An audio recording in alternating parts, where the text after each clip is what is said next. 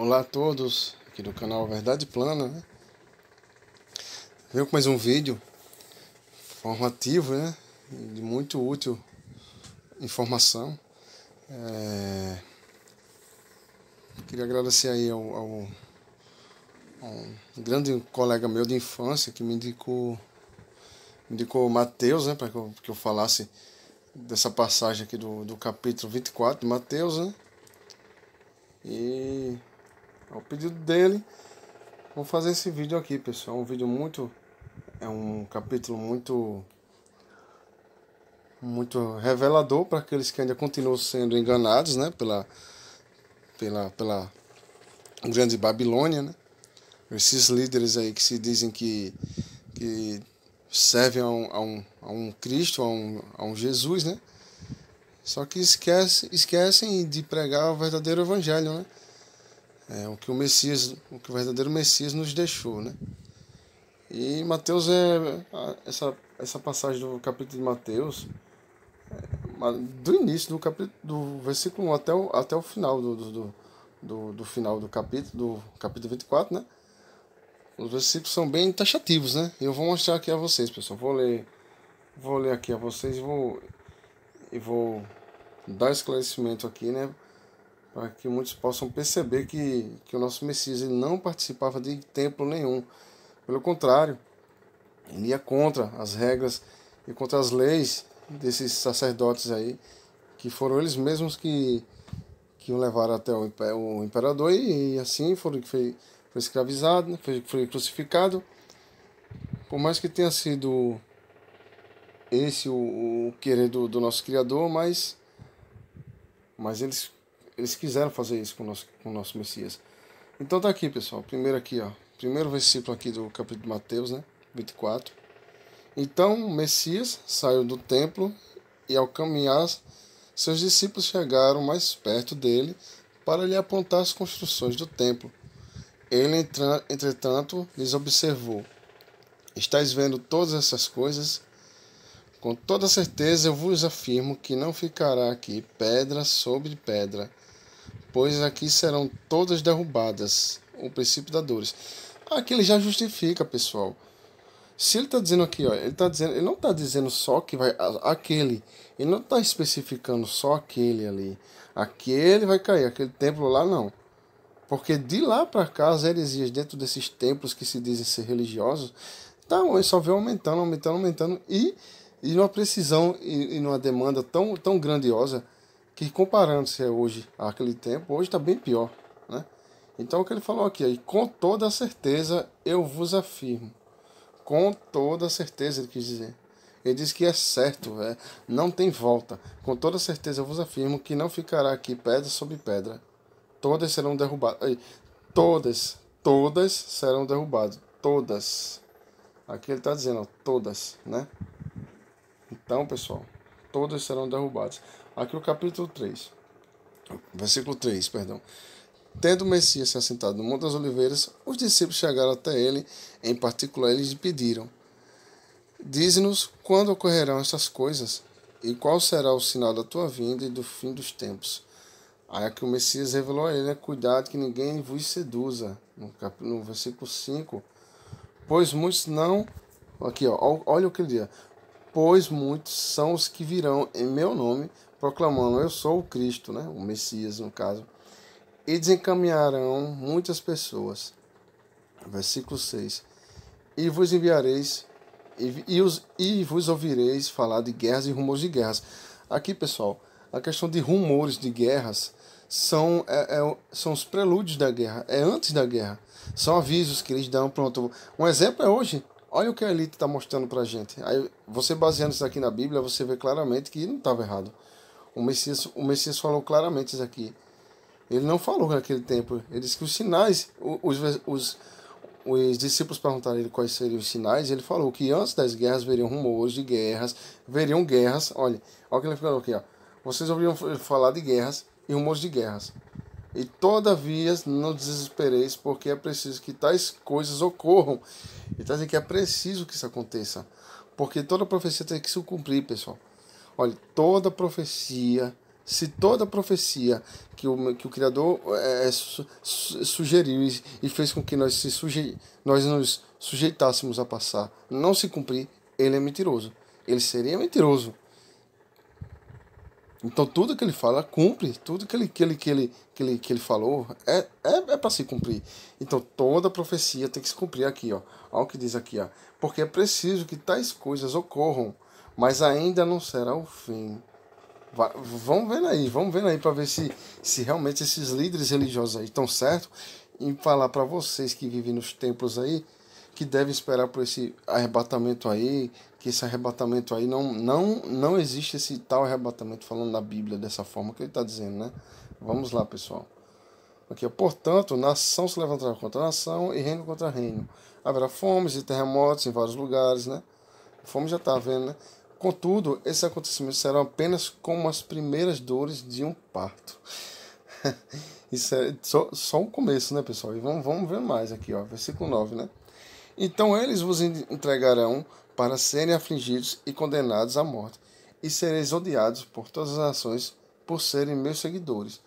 Nessa época, muitos ficarão escandalizados, trairão uns aos outros e se odiarão mutuamente. Então, numerosos falsos, numerosos falsos profetas surgirão e enganarão muitos. Pessoal, não preciso citar nomes aqui de líderes grandiosos, né, e de instituições religiosas, né, departamentos, empresas, né? Porque se você, se você entrar no Google agora, você pesquisar aí, depois desse vídeo, vocês entrarem no Google pesquisar empresas religiosas, vai aparecer uma fila de número, vai aparecer um, de nomes de, de, de, de incontáveis números de, de, de instituições religiosas. Olha aqui, ó, o que, diz, ó eles serão odiados nessa época porque ficaram escandalizados, traindo aos outros, mutuamente. Então, nu, então, numerosos falsos, numerosos falsos profetas surgirão e enganarão muitos. Isso ele já, já era um prelúdio, ele já estava deduzindo, não, é dedução, né? O deduzir é uma coisa que não é exata, mas ele, estava, ele já estava prevendo isso aí, pessoal. Ele já sabia tudo que isso tudo ia acontecer. Ele já estava já estava premeditando tudo isso porque sabia que ia acontecer. Então, inumerosos. Ah, vou dizer uma coisa a você. Aí você me pergunta e pergunta aí. você que está vendo esse vídeo. Teu pastorzinho aí, não é um desses, não? Rapaz, será? O seu líder religioso, o, o que manda, que domina na sua vida, na sua casa, cara.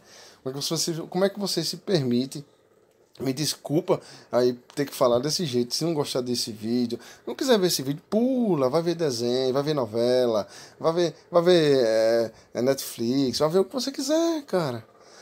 Vai ver o que você quiser. Ninguém, ninguém é obrigado a aceitar as verdades, né? Porque a verdade muitas vezes dói, né? A verdade, é, praticamente, a maioria das vezes dói, né? É difícil a gente aceitar. Não sou eu que estou dizendo, vale Mateus 24, está aqui, ó, versículo 11. Então, numerosos falsos profetas surgirão e enganarão muitos. Versículo 12.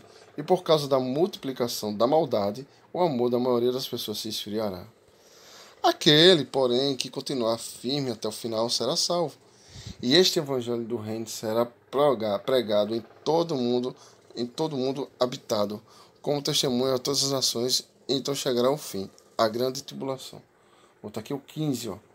E assim, quando vistes a profanação horrível do qual falou o profeta Daniel no lugar santo. 16. Então os que estiveram na Judéia fujam para os montes. Quem estiver sob o telhado da sua casa, não desça para retirar dela coisas, coisa alguma. E aquele que estiver no campo, não volte para pegar a sua túnica. Serão dias terríveis para as mulheres grávidas e, que, e para as que estiverem amamentando e orai para que a vossa fuga não ocorra durante o inverno e o sábado. Aqui, pessoal, está falando o seguinte: aqui é fácil de entender, não existe parábola aqui, pessoal. Aqui fala sobre a grande tribulação. Olha aqui, ó, voltando aqui um pouquinho. No final do, do, do, do versículo 14, aqui, ó. Aí, então chegará o fim, a grande tribulação. Então chegará. Chegará, não, você quiser, não, não, ele não está dizendo que é o fim. Ele está dizendo porque, eu vou dizer, pessoal, existe o início, o meio e o fim. Mas para chegar ao fim, o fim definitivo, é, o fim ah, acabou, chega, não, não, não quero mais. Isso é o fim. Mas o fim tem continuação, sim. Tem sim. A chegada do fim, existe a chegada do fim. O fim é já o fim dos tempos. Aqui é a grande tribulação. E o que ele fala aqui é, então, os que estiverem na Judéia, né? Desde então não se retira essas coisas, aqueles que estiverem no campo, não voltam para pegar essa túnica. E está dizendo aqui que os dias são terríveis para mulheres grávidas que vai aumentando. E está pedindo para que oremos, para que a vossa fuga não ocorra durante o inverno. Baseia. É, vai viajar no verão, pega, pega o carro, pega uma moto, pega um ônibus, viaja no verão. Viaja depois, viaja no inverno. Existe uma diferença. Vai viajar pro, pro sul. Pronto. Você está no sul no inverno. Você está no sul, vamos, você está num país que, que gela muito, deixa eu dizer aqui, Rússia ou Rússia ou Estados Unidos, esses lugares. Mas tem em qualquer lugar. Tanto, não precisa ser neve, né? Nós sabemos que no período do inverno existem chuvas, inundações, inverno, tempestade, né? E nem o sábado, né? Entendam isso. Não existe parábola aqui. Por quanto haverá nessa época grande tribulação. Já foi justificado aqui, ó. Então, o versículo então está falando, né? Como jamais aconteceu desde o início do mundo até agora nem nunca mais haverá, porque será a última pessoa, né? Será a última tribulação. E se aqueles dias não tivessem sido abreviados, nenhuma carne seria salva. O que está dizendo aqui que se não fosse avisado pelos profetas, se isso aqui não fosse, não fosse escrito, ninguém saberia. E por nós não sabermos, ninguém iria avisar também. Porque quem faz parte do mal não vai querer avisar uma coisa para nos ajudar, então a gente não seria salvo. Só que a gente está tendo aviso aqui, não é? Mas por causa dos eleitos, aquele tempo será encurtado. Então, se alguém vos anunciar, vede que está o Cristo, eu, ou, ou ele ali, não acrediteis. Né? Pois se levantarão falsos cristos, falsos profetas, e apresentarão grandes milagres, prodígios, para se, se possuir, se, possu, se possível, iludir até. Olha, pessoal, isso aqui, ó. Isso aqui já está acontecendo, né? Ele, mais uma vez, ele vem taxando, taxando essa questão desses líderes. Olha, vou dizer uma coisa a vocês. É o que eu volto a dizer. Saiam desse aprisco. Saiam da caverna de Platão, cara. Saiam dessa, saiam dessa ilusão, essa fantasia aí, ó. Essa, essa, essa camada, essa, essa cúpula que eles criaram dentro desses templos e, com, e que eles construíram no decorrer do, do, do tempo e fizeram com que vocês ficassem ofuscados da verdade. Não se iluda. Olha o que eu digo Deus. Milagres e prodígios para, se possível, iludir até os mesmos os eleitos. Aí vende que eu o pré-anunciei a voz. Está dizendo que eu vejo que eu anunciei, que eu anunciei isso a vocês. Vocês depois não vão chegar, olha, é o que ele está dizendo, olha. É tipo você ter um filho, você olha, tu vai ali, tu vai na cara daquele amigo, tu vai se contar com aquele amigo, tu sabe que ele é errado, né? Depois que acontecer besteira, acontecer uma merda, você não vai dizer que não foi avisado. Estamos lhe avisando, ó. o que que tá dizendo? Vede que eu o pré-anunciei, né? A voz. Então, pronto, já dizendo. Eu, eu avisei a vocês. Eu avisei, não, você, ah, ninguém me avisou. Como não? Você está dentro de um templo, cara. Você deixou a Bíblia debaixo do seu braço.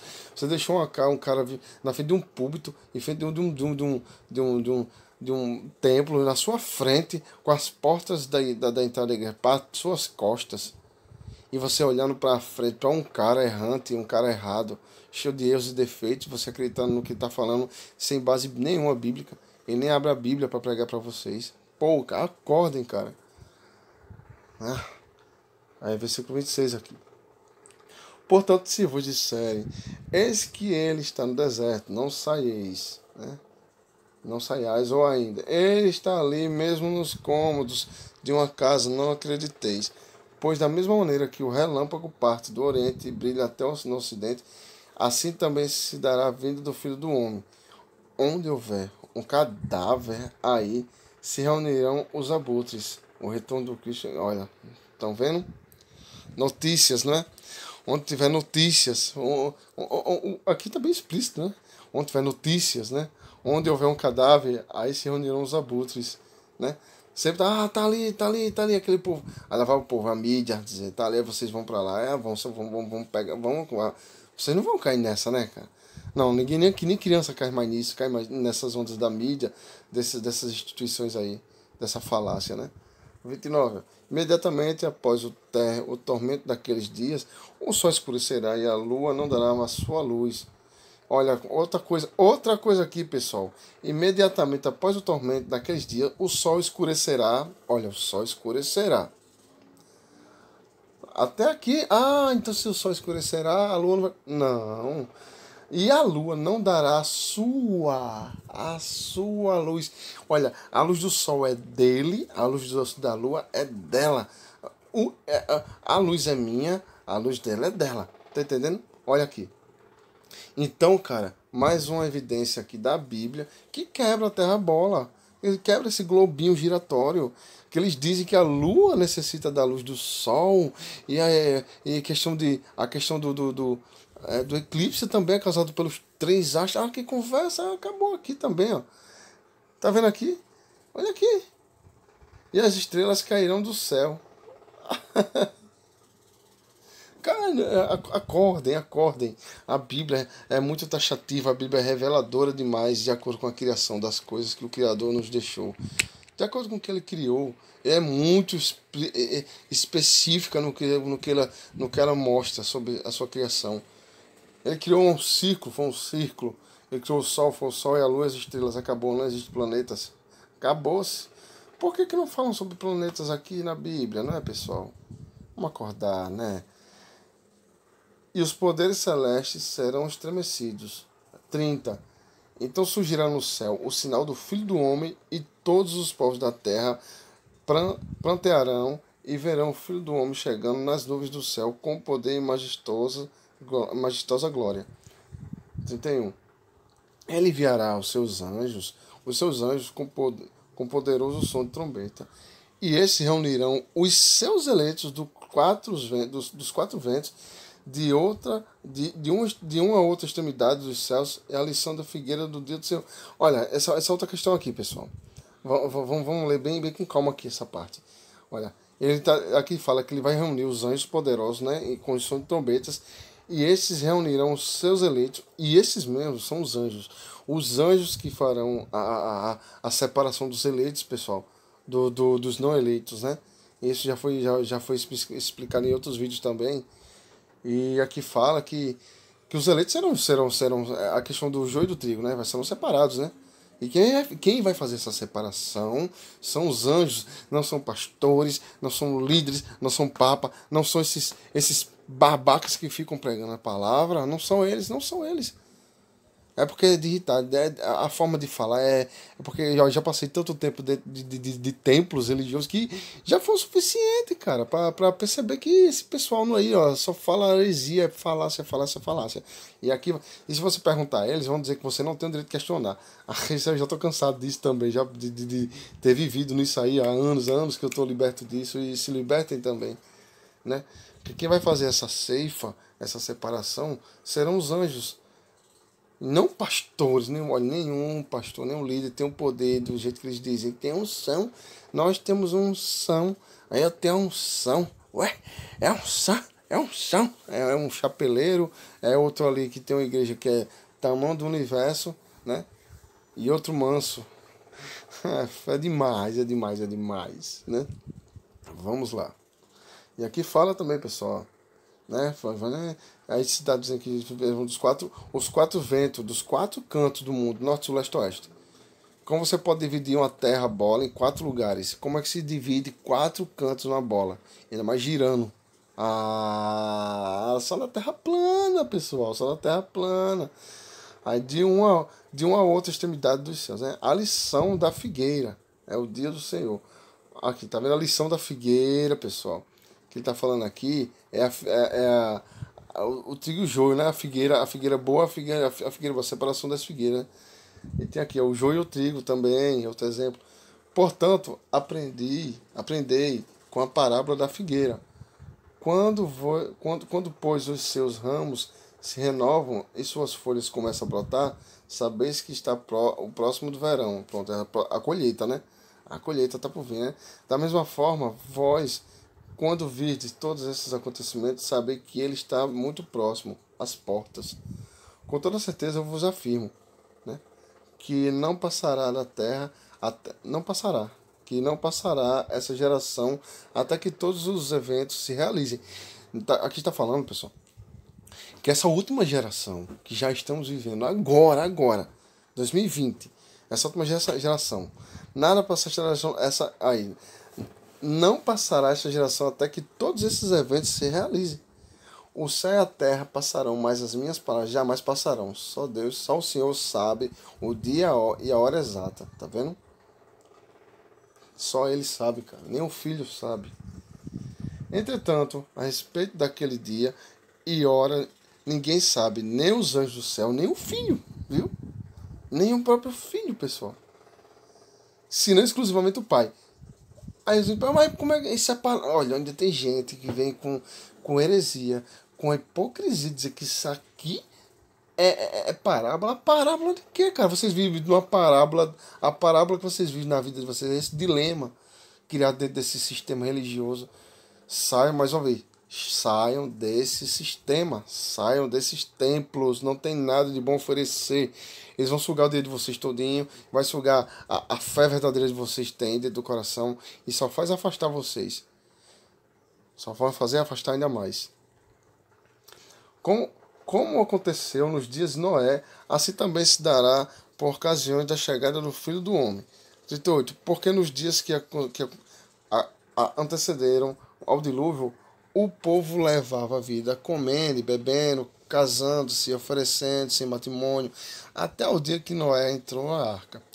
39. E as pessoas nem notaram até que chegou o dilúvio e levou todos. É, também é um assunto bem é, é, importante a ser falado, pessoal, que eu vou também trazer no, no canal, viu? É, sobre, sobre o dilúvio e sobre é, é, o fim dos gigantes, né? Os Néflins, né? Também os anjos caídos. É, tá lá tudo no livro de Enoque. Aqui, ó. Assim ocorrerá na vinda do Filho do Homem. 40. Dois homens, dois homens estarão na lavoura, um será arrebatado, mas o outro deixado. Duas mulheres estarão trabalhando no moinho, um será arrebatado e outro ficará para trás. Olha, pessoal, essa questão de que um fica, um será arrebatado e o outro ficar deixado, duas estarão trabalhando num, uma será arrebatada e a outra ficará para trás. Pessoal, entendam de uma vez por toda isso. Essa a pessoa que ficou é a remanescente. Na Bíblia fala que o Senhor vem trazer, vem, vem, vem levar, vem, vem acolher e vai arrebatar o remanescente, a remanescência dos que ficar. Pesquise sobre remanescência. Remanescente é o resto que ficou, que foi deixado para trás. O que foi deixado para trás é o que será levado. Esses que foram arrebatados primeiro são os que, são, são os que foram mortos. É os que serão mortos na tribulação. As, entendam isso, entendam, leiam e releiam aqui, Mateus 24, 40. 41, leiam e releiam isso, para vocês perceberem que vai ficar um, vai ficar um. E ele vai vir buscar os que ficaram, não os que foram. Como é que pode? Eu vou. Ah, tá, tá lá, o restante tá lá, vai pegar. Olha a ligação. Ah, eu só, eu só vou voltar lá para pegar o que sobrou. Tá bom? Tá certo. Olha, é, Fulano, é, sobrou lá os remanescentes. Volta lá para pegar. Tu falou que, ah, tô indo agora, vou pegar a sobra, o remanescente, a remanescência, o que foi deixado para trás. Pronto, acabou. Entendam isso. Aí, 42. Por isso vigiai, porquanto não sabeis em que dia virá o vosso Senhor. Contudo, envia, entender isso. Se o proprietário de uma casa soubesse que, vi, que haveria de vir, que a hora viria o ladrão, se colocaria em sentinela e não permitiria que a sua residência fosse violada. Certamente, né? É, portanto, fiquei igual, igualmente, vos alerta, pois o filho do homem virá no momento em que nós menos espereis. Aqui, ó, o destino do bom e do, do mau servo. Aqui, ó, 45. Sendo assim, que, quem é um servo fiel e sábio, e quem o, o Senhor confiou, a quem o Senhor confiou os de sua casa para dar-lhes alimento no seu devido tempo. Aí, o 46. Ó. Feliz aquele servo a quem o Senhor, a quem o seu Senhor, quando volta Cadê, cadê? 46. É perdão, pessoal. Feliz aquele servo a quem o Senhor, quando voltar, o encontrar agindo dessa maneira. 47. Com certeza vos afirmo que o Senhor confiará a seu servo todos os seus bens. Entretanto, suponho que esse servo, sendo mau, diga a si mesmo: Meu senhor está demorando muito, e por isso passe a agredir os seus conservos e a comer, a beber com, com beberrões. E aí já é né, punição, né? o Senhor daquele servo virá num dia inesperado e numa hora que o servo desconhece. Tá vendo? É uma hora que ele não sabe nem espera. E o Senhor o punirá com toda severidade. Ele, ele dará um lugar ao lado dos hipócritas, onde haverá grande lamento e ranger de dentes. É, pessoal, é muito simples entender esse capítulo aqui 24, né, de Mateus. É muito, muito simples mesmo, pessoal. E o final, o final é muito revelador, pessoal. O final que já está garantindo a vinda do Senhor, né? Aqui, o do 50 para 51. O Senhor daquele servo virá num dia inesperado e numa hora que o servo desconhece. E o Senhor o punirá com toda severidade. Né? Ele dará a um lugar ao lado dos hipócritas, onde haverá grande lamento e ranger de dentes. É, pessoal, é a punição né, para aqueles que vão contra a vontade do Senhor, contra a palavra, né? E contra os ensinamentos também, né? É, o vídeo tem. Desculpa aí, pessoal, vídeo ter ficado um pouco longo, né? Mas eu vou deixar aqui também, também outra passagem, outro vídeo também na descrição, né? Agradeço aí, pessoal, pela paciência. E espero que vocês tenham gostado aí do vídeo, o esclarecimento. É, se vocês tiverem algum, alguma dúvida, podem comentar aí no vídeo aí que a gente tira suas dúvidas, viu? Mais uma coisa eu garanto a vocês. Faça um teste. Isso tudo, pega um vídeo que você está lendo aí, que você está vendo, e decora algumas coisas, ou mostra para um pastor seu o que é que ele vai dizer. Ele vai dizer que é heresia, ele vai dizer que é coisa demoníaca, ele vai dizer que é, que é intenção e procedência maligna. É sempre essas coisas. Eu digo isso porque eu já sei, pessoal.